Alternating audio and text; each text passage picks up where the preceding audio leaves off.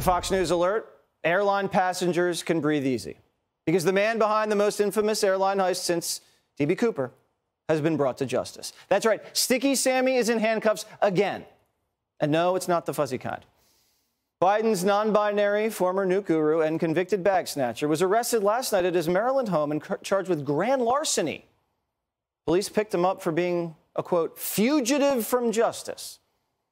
So, wait, does that make him a gender outlaw? We'll have to see what box he checks.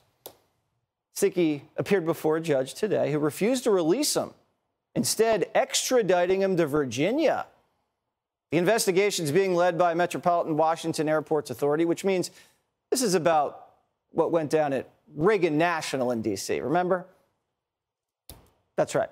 Sticky stole a African fashion designer's bag, and then he wore clothes over and over and over again. So we reached out to the fashion designer, and she said the police have been in contact with her lawyer. And she's been asked to come and identify the items taken by the cops, so it certainly looks like Sticky Sammy robbed this lady. And Sticky was already on a suspended 180 day jail sentence from his Las Vegas baggage thefts. Is this a violation of Sticky's parole? Might be. If so, he could go away for quite a long time, which is a shame because orange really isn't his color.